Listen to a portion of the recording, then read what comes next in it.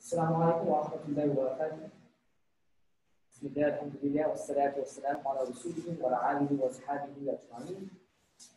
Once again, Alhamdulillah, we thank Allah subhanahu wa ta'ala for allowing us to come here on a Jummah. One Jummah in the most 10 blessed days of the entire year. And I thank all of you who are- who are here today. And to those, inshallah, who are listening at home, on Zoom or Facebook, uh, the masjid is open, as you know, and it was such a joy to be here last week. And I see the same, alhamdulillah, smiling and happy faces. May Allah reward us in these blessed, blessed 10 days. To those of you at home, consider coming to the masjid because there is some room here, inshallah. We find that people register and then some don't show up. So I'm encouraging you all to take up this option. Uh, especially since we're in this very, very blessed time of the year, which is part of the reason we wanted to open the masjid uh, in the month of Dhul Hijjah. Um, one of the things I wanted to mention is, as you know, inshallah, next Jummah is going to be Eid al-Adha.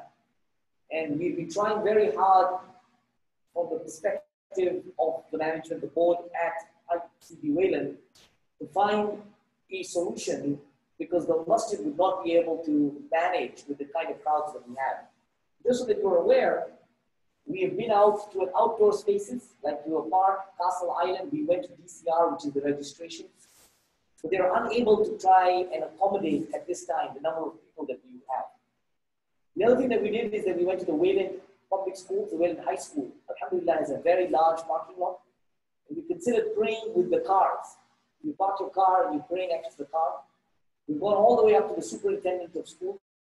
But it seems that at this time they are reluctant also to, to accommodate us at this stage. They have not definitively given us a no.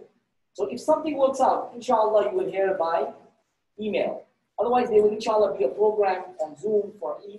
And we will encourage you all to pray at home. As you know, this is also part of the Sunnah. That you can pray at home, your Eid prayer.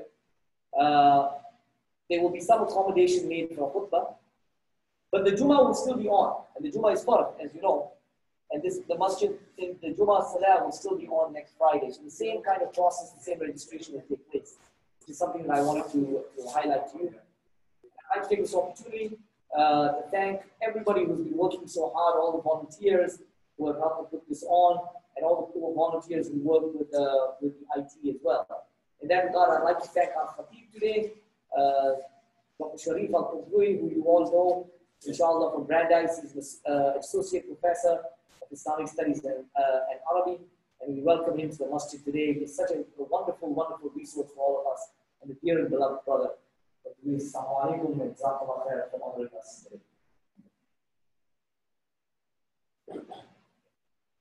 Assalamu alaikum wa.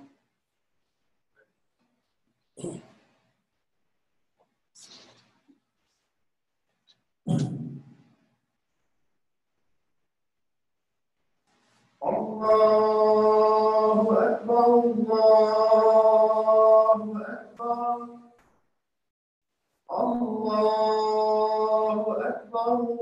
الله أكبر أشهد أن لا إله إلا الله. أشهد أن لا إله إلا الله أشهد أن محمدا رسول الله. أشهد أن محمدا رسول الله. حي على الصلاة.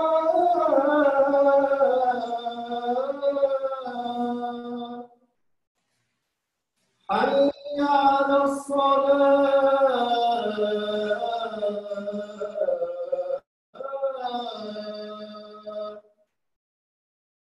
حي على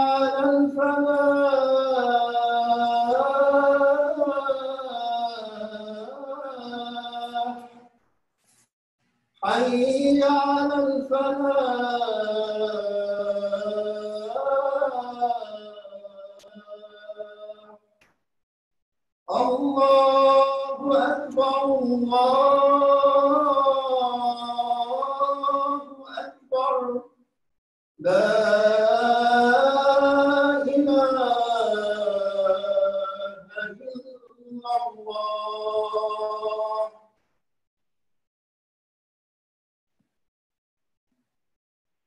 إن الحمد إن الحمد لله نحمده ونستعينه ونستغفره ونعوذ بالله من شرور أنفسنا ومن سيئات أعمالنا. من يهده الله فلا مضل له ومن يضلل فلا هادي له. أشهد أن لا إله إلا الله وحده لا شريك له وأشهد أن محمدا عبده ورسوله. يا أيها الذين آمنوا اتقوا الله وقولوا قولا سديدا. يصلح لكم أعمالكم ويغفر لكم ذنوبكم ومن يطع الله ورسوله فقد فاز فوزا عظيما. Oh, dear brothers and sisters, Assalamu alaikum wa rahmatullahi wa barakatuh. I am happy to be here with you today on this first Friday of the holy month of Dhul Hijjah, which is the 12th month, as you know, of the Islamic calendar, the last month of the year, the year 1441. And these first 10 days are among the most blessed days of the year. And we know that Allah subhanahu wa ta'ala, just like He has made certain places uh, more blessed than others, such as uh, the Kaaba in Mecca and the masjid of our beloved Prophet wasallam, uh, he has similarly made certain times more blessed, more uh, uh, blessed than other times. And so we know that among the blessed times in the year, for example, is the month of Ramadan. And one of those blessed times also is these first 10 days of Dhul Hijjah. And Dhul Hijjah is one of the four sacred months uh, in the year. The others being Dhul which is a month right before it, Dhul Hijjah, the month we're in now, Muharram, which is next month, the first month of the year, and then the month, month of Rajab, the seventh month of the year. The Prophet ﷺ said in an authentic hadith, the best days in this life are the first 10 days of Dhul Hijjah. Furthermore, Allah subhanahu wa ta'ala swore by these days and nights in the Quran Uh, in Surah Al-Fajr, where he says, أعوذ بالله من الشيطان الرجيم بسم الله الرحمن الرحيم والفجر وليال عشر والشفع والوتر والليل إذا يسر هل في ذلك قسم لذي حجر by the, by the break of day, by the ten nights, by the even and the odd contrasted, and by the night when it passes away, is there not in these an adjuration for those who understand? And the first 10 days of Dhul Hijjah include the day of Arafah, which is the ninth day of the month, which will be next Thursday, inshallah, the day right before Eid. And the Prophet ﷺ said about this day, there is no day on which Allah frees more of his slaves from the fire than the day of Arafah.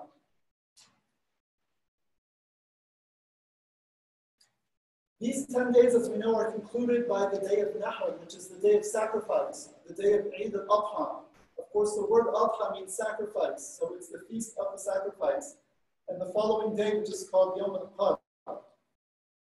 And one thing that we know that the Prophet has taught us is that virtuous deeds are magnified during these 10 days. The Prophet said, There are no days in which righteous deeds are more beloved to Allah than the first 10 days of Dhul Hijjah, reported by Ad-Darimi. In another narration, the companions asked, Not even jihad the sake, for the sake of Allah.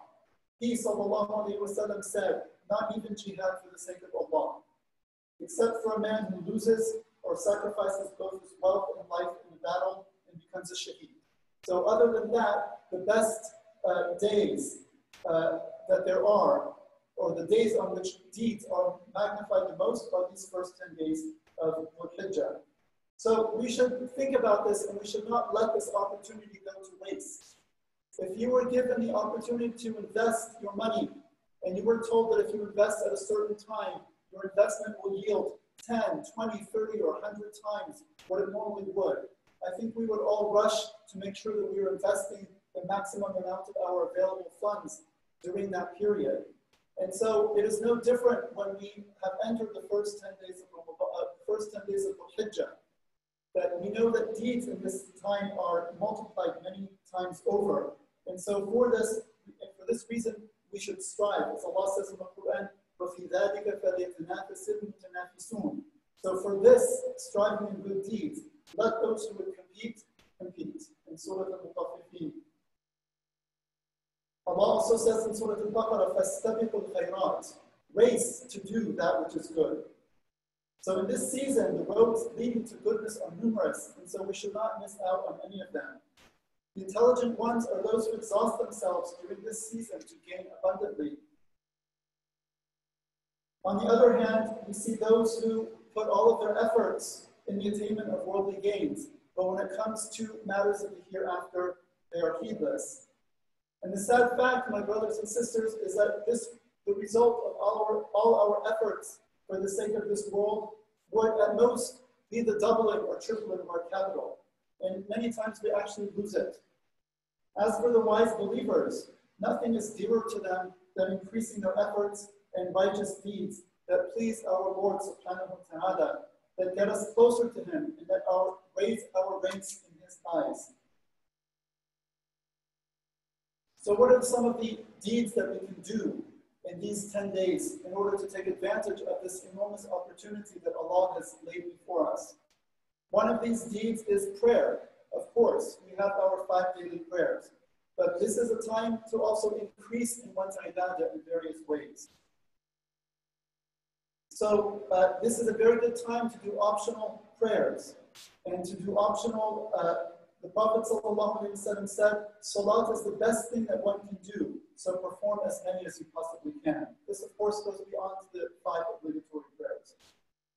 Uh, Tabarani reports that the Prophet ﷺ also said, two light rak'ahs, so two rak'ahs, cycles of prayer, which you may deem insignificant to add to your deeds, is better for you than possessing the whole world.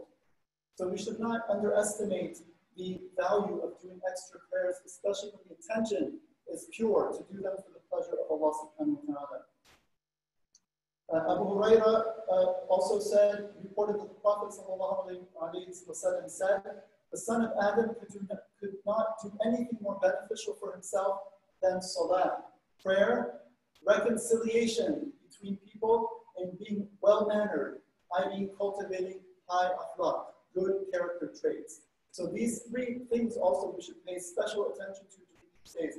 Extra prayer, prayer, reconciliation between people who have had a falling out, people who are, who are at odds with each other. If there is some rancor or enmity between ourselves and any of our brothers and sisters, we should try to make special efforts during these 10 days to put that right. And if we have other people that we know that are close to us, that we can also try to effect a reconciliation between them and those with whom they have had a falling out, we should also try to do that if it is possible. And then being well mannered or cultivating high khuluq. This is one of the most important things in Islam. That the Prophet ﷺ said that the best of you is the one who is best in akhlaq, the one who has the best character, the best interaction with other people, who treats other people the best. So in addition to prayer, there is also fasting, of course, one of the main acts of ibadah that we do as Muslims. And we know that it was the practice of the Prophet ﷺ to fast on Mondays and Thursdays, and also to fast on the three middle days of the month, the so-called white days of Ayyam al-Bid, the 13th, 14th, and 15th of the lunar month. And he also told us, sallallahu fast the day of Arafah, which is next Thursday. Um, so there doesn't seem to be any specific uh, hadith or report about fasting all of the 10 days of Dhul Hijjah, but one is, of course, invited to fast as many days as possible because fasting for the sake of Allah is a primary act of worship and good deed. And as we said before, good deeds are multiplied many times in this month. So if one wants to fast all 10 days, one may, or all nine days before Eid, one may do so. If one doesn't, then at least try on Monday and Thursday. So uh, next Monday and the next Thursday, of course, is the day of Arafah, everybody, unless there is a really strong reason not to, should try to fast on the day of Arafah because it's very meritorious to fast on that day. And Prophet did specifically instruct us to fast on the day of Arafah. And as we know, the day of Arafah is the day on which the pilgrims are gathered on the plain of Arafah and where they spend the entire day uh, making dua and supplication to Allah and praying for forgiveness for their sins. And this is a prefiguring of the day of judgment, when all mankind will stand on a similar plane and waiting for the judgment to come. And so we who are not in Hajj should endeavor on that day to fast and then also to spend much time in istighfar and asking Allah for forgiveness. Also, uh, uh, giving in charity. Of course, uh, charity, sadaqah, is one of the most meritorious acts that a Muslim can perform. And so, similar uh, to Ramadan, giving charity specifically in these 10 days of Dhul Hijjah is something that is loved and that will be multiplied uh, manifold, manifold, inshallah, by Allah's grace and generosity. So regarding the day of Arafah specifically, which is next Thursday, Abu Qatada reported that the Messenger وسلم, said, fasting the day of Arafah expiates the sins of two years, the past one and the coming one. And fasting on the day of Ashura expiates the sins of the past year. Aisha anha reported that the Prophet وسلم, said, There is no day on which Allah frees people from the fire as he does on the day of Arafah. He comes close and then he goes to his angels. What are these people seeking? Uh, and so, obviously, offering a sacrificial animal on the day of Eid itself is one of the most virtuous deeds that one can perform. And the Prophet ﷺ said, He who does not offer a sacrifice while being financially able to, to do so, let him not come close to our masjid, i.e., let him not pray with us. So these are examples of virtuous deeds, extra prayer, extra fasting, extra charity, fasting and asking for forgiveness, particularly on the day of Arafah, the sacrifice on the day of the Feast of Sacrifice, which is the day of Eid, it's Friday, inshallah, and also trying to bring about reconciliation between people and improving one's character and one's akhlaq, particularly during these days and then beyond. So we should take advantage of these days in order to increase in good deeds, both in the manner manners that I have mentioned and in any other manner, because there's no restriction. Any good deed is, is rewarded multiple times during this uh, period, and so we are encouraged to perform good deeds of all kinds. I only mentioned the most prominent ones, but good deeds are innumerable, and so we should strive to seek them out and to perform them. And we should try to beware of laziness and neglect, particularly during this time, and know that Allah has favored certain seasons and times over others, and so it behooves us to take advantage of these opportunities and increase our righteous deeds. Perhaps Allah may forgive us our sins and shortcomings. أقول قولي هذا وأستغفر الله العلي العظيم لي ولكم ولسائر المسلمين فاستغفروه إنه هو الغفور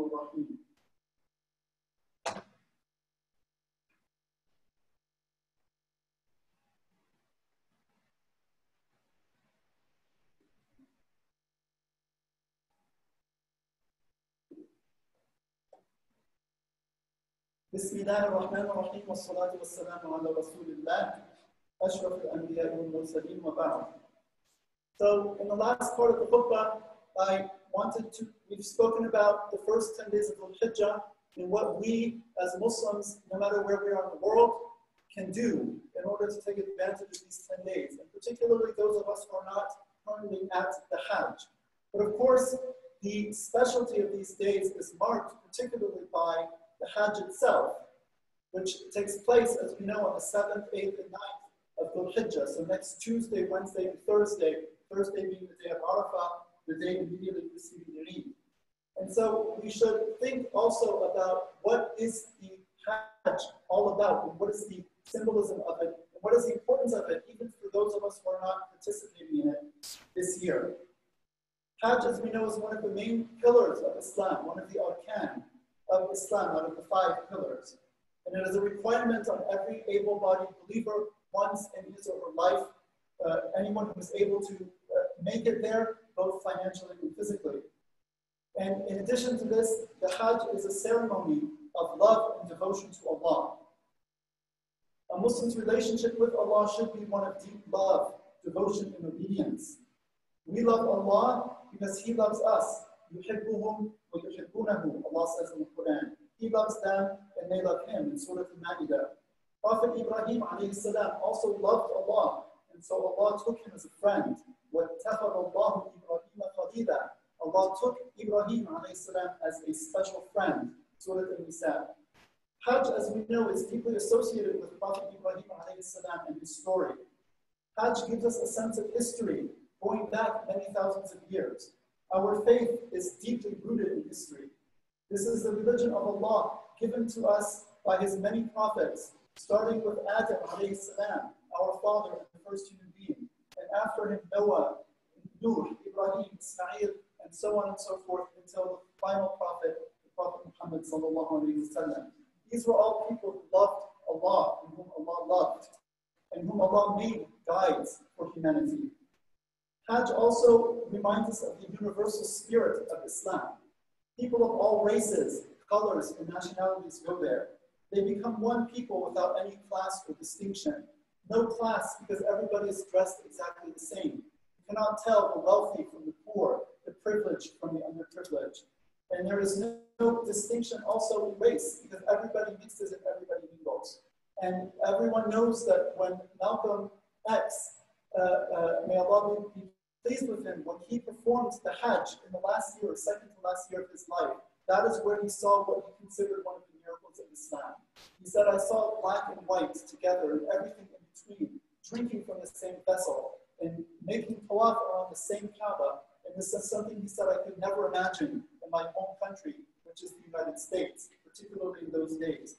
And so we should, uh, we should realize that Hajj is a symbol of the universality of Islam and of the fact that Allah says that He has made our tongues and our colors among the signs by which we can come to know Him. And that the best amongst us are those who are best in piety and closest to Allah. Which means there's no distinction to be made on the basis of color, on the basis of race, on the basis of language, on the basis of ethnic background. And we all know this as Muslims. And on, on sometimes we actually do embody this as an ummah. And when we do, we are right to be proud of that by the grace of Allah, not proud in a prideful sense. But we should also not pat ourselves on the backs and be blind to the reality of racism among our own communities.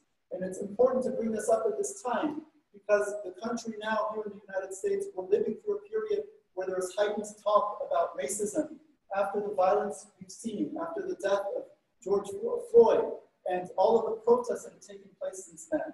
And Islam, if anything, has the solution to this problem. But we as Muslims often do not live up to this reality. And we know within our own communities that there is racism in many different countries that we come from and among our communities right here in the United States, right? And everybody knows what I'm talking about, and everybody knows the pecking order. And it's the same as you find anywhere else. The lighter your skin, the higher you up, up you are, and the darker, the lower you are. And this is something that is completely unacceptable for us as Muslims, in which the Prophet explicitly said, sallallahu alaihi wasallam, the Arab is not superior to the non-Arab, nor is the non-Arab superior to the Arab.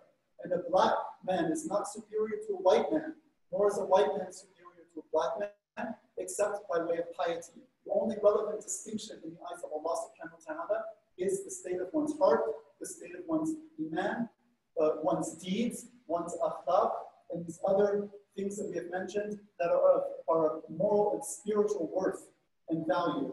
And Allah says He does not look at our forms or our bodies, but He looks at our hearts and our deeds. In addition, Hajj gives us a focus, a center, and an orientation.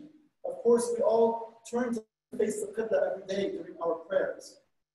And this should remind us when the pilgrims are gathered at the Kaaba itself that we should have only one Qibla for our worship. But in addition to that, we should have only one unity of purpose and mission in our lives. So the Kaaba is our center, not only during prayer, but it should be the center of our, of our entire existence. Everything we do should be oriented around the Qibla, meaning oriented around Allah subhanahu wa ta'ala as the center of it. We should be God centered and God focused individuals all, all throughout our lives, not only on the special days of the year, and not only during the five times of prayer as well. So our fight, focus on, on our life in life is on Allah and the house of Allah, the Kaaba on this earth. And we have with us Allah's book that we must hold fast to together. Allah says to us in Surah Al Imran, وَاعْتَصِمُوا بِحَبِّ اللَّهِ جَمِيعًا وَلَا تَفَرَّقُوا Hold together, all together tightly to the rope of Allah and do not be divided. Fourth, Hajj at its best is a ceremony of peace and harmony. The pilgrims come in peace to spend their time together in the most peaceful and respectful manner. The idea is that people should come and should respect each other. Allah says, لا رفث ولا فسوق ولا جدال في الحج. There should be no crude or rude behavior, no argumentation and in the Hajj. So even for us, while we are not at Hajj, let us try to apply these standards to ourselves. Let us try to be extra careful in these 10 days, especially the days of the Hajj itself, 7th, 8th, and 9th, next Tuesday, Wednesday, and Thursday, as if we are in the Hajj ourselves, right? Let us try to endeavor not to fight with people, not to argue, not to be rude in our behavior. We should be doing it anyway, but let's try to make an extra effort during that time so that we can partake of the benefits that the Hajj season has to offer us. And finally, and I'll end with this, Hajj is first and foremost, above all else, is about sacrifice.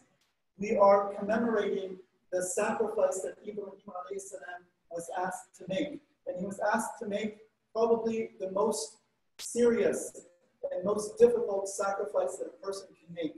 He was asked by Allah subhanahu wa ta'ala to sacrifice his very own son. And this is, anyone who's a parent knows, this is more painful and difficult than even being asked to sacrifice yourself. Because to sacrifice your child is even more difficult than to sacrifice your own self. Because it is part of our fitrah, the nature that Allah created us on, to protect our children and to want to protect them at all costs, including the cost of our own lives. And so we, we, we, read in the Quran, I don't have time to read the verses, but, uh, but we have all heard them. Read quickly in English. When they both submit, submitted, uh, Ibrahim and his son Ismail alayhi salam, uh, when they both had submitted and he flung him down upon his forehead, we, Allah subhanahu wa ta'ala, called unto him, O Ibrahim, you have fulfilled the vision. Indeed, we thus reward the doers of good. And so we look at what Ibrahim was asked to sacrifice. And when he turned to his son and said, I see in a dream that I'm to sacrifice you, what do you say? His son said, If I'm not do what you are commanded, and inshallah you will find me from the sabirin, those who are patient, those who have forbearance. Okay? So we, what is Allah asking us to sacrifice? Allah is asking us to sacrifice much, much less than what He asked, asked of our father Ibrahim salam. He's asking us only to sacrifice our desires, only to sacrifice our whims, only to sacrifice our preferences, only to sacrifice our personal predilections. That's all he's asking us. And it feels like a lot sometimes because these things take over our lives. We want and we crave and we want to do this and that, right? This is also part of being a human being. But this is so little compared to the sacrifice that Ibrahim was asked to make. And when he was asked to make that ultimate sacrifice, he did so willingly and in complete submission to Allah subhanahu wa ta'ala and with rida, good pleasure with the command of Allah. And when he asked his own son who he was supposed to sacrifice, what is your opinion of me sacrificing you? The son also said, do what you are commanded. Do, so we have to ask ourselves, do we do what we are commanded? We are commanded and we disobey. Allah commands us and we turn away. Right? And, and, and the sacrifice he's asking us to make is simply the sacrifice of our nafs, the sacrifice of our shahawat, the sacrifice of our ahwa, our, our whims and our desires, as we said before. And so we should turn back and ask, what are we sacrificing? Are we sacrificing properly in the way that Allah has asked us? Are we giving to Allah what He has asked of us? And if we find that we are falling short, then we should take inspiration from our father Ibrahim salam, who was ready and willing to make the absolute utmost sacrifice that a human being could be asked to give. And when we see what he was asked and we compare it with what we were asked, we understand that Allah is kind and merciful and he does not ask of anybody more than what that person can bear. As Allah says in the Quran many times, Allah does not bear task a soul with a burden greater than it can bear. اللهم صل وسلم وبارك على سيدنا محمد وعلى آله وصحبه أجمعين. اللهم إنا نسألك رضاك والجنة ونعوذ بك من سخطك والنار. اللهم لا تزغ قلوبنا بعد إذ هديتنا وهب لنا من لدنك رحمة إنك أنت الوهاب. اللهم إنا عبادك بنو عبادك بنو إمائك ماض فينا حكمك عدل فينا قضاؤك نسألك اللهم بكل اسم هو لك سميت به نفسك أو أنزلته في كتاب في كتابك أو علمته أحدا من خلقك أو استأثرت به في علم الغيب عندك أن تجعل القرآن العظيم ربيع قلوبنا ونور صدورنا وجلاء أحزاننا وذهاب همومنا وهمومنا يا ذا الجلال والإكرام أمتنا على دين الإسلام. ووفق اللهم أمور ولاة أمور المسلمين إلى العمل بكتاب الله والسنة خاتم الأنبياء والمرسلين صلى الله عليه وسلم. Allah, we ask that you open our hearts during these 10 days of, of Dhul Hijjah, that you give us tawfiq to perform good deeds that will draw us closer to you, good deeds that will earn your good pleasure and reward from you manifold. And we ask that you allow us to think and to reflect and to uh, imbibe the spirit and the message and the meaning of, is the season of Hajj. And we ask that you give us tawfiq and strength to and right guidance in order to sacrifice for your sake that which you have asked of us. I, I say this and I ask Allah to bless you all to accept our prayers. وأقيموا